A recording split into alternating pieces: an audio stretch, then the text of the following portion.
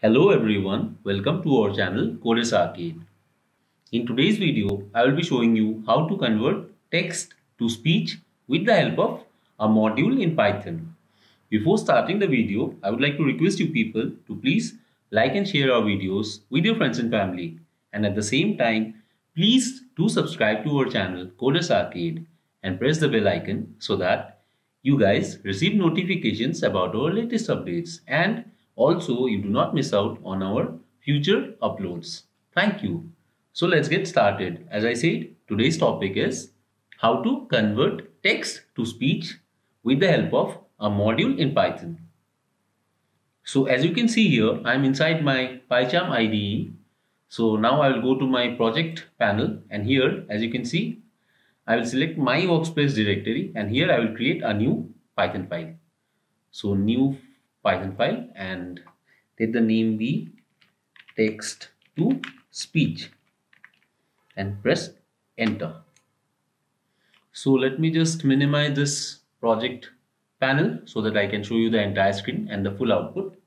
Now to convert text to speech we have a very good or beautiful module in Python which is the py to text 3.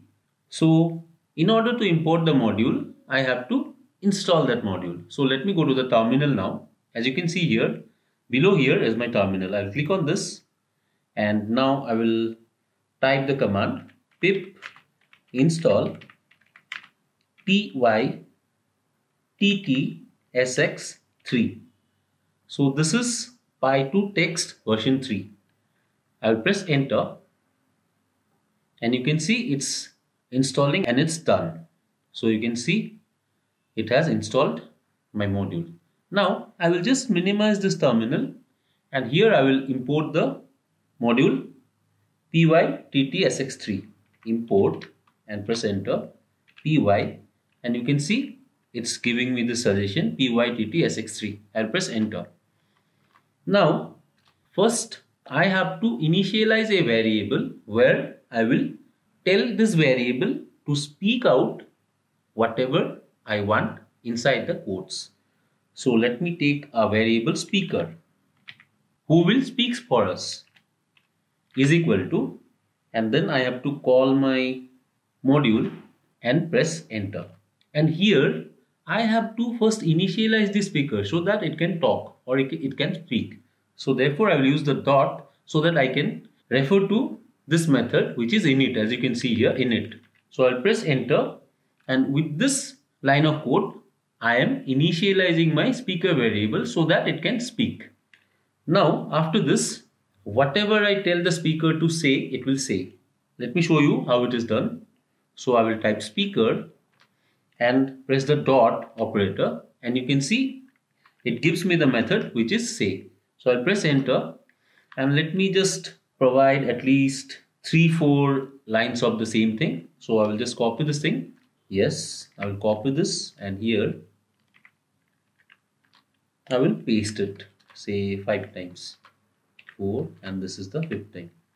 So inside this in quotes I, I can write whatever I want and this thing will be spoken out or converted to audio with the help of the compiler or with the help of this module which is pyttsx3 so here I will type say welcome to our channel coders arcade. And in the next method I will type we provide free tutorials on Python Java, HTML, CSS and much more.